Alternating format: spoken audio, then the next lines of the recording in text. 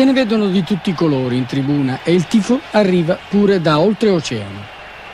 Anche joint ventures improponibili con tutta la buona volontà.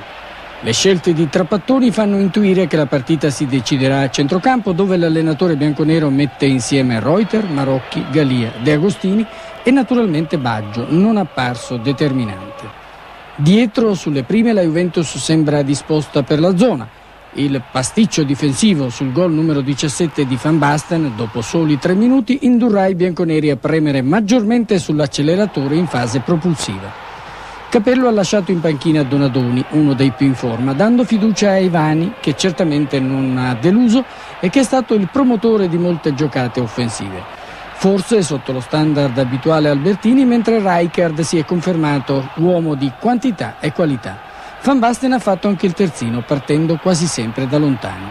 Dalle parti di Maldini qualche perplessità.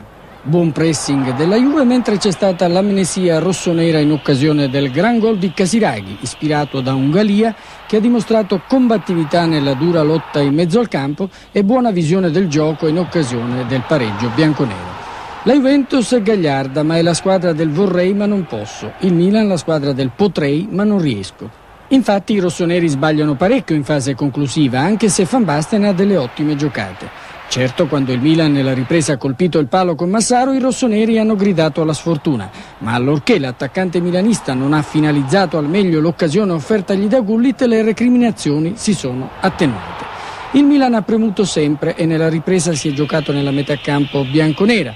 Qualche sortita della Juve ha creato preoccupazione, ma la partita era ormai segnata. Schillaci, che la palla l'aveva vista poco, ha lasciato il posto a Di Canio, che è stato atterrato fuori area, ma in definitiva è stato il Milan a creare ancora due o tre situazioni pericolose con Gullit, che non ha centrato la porta e comunque ha trovato tacconi sulla propria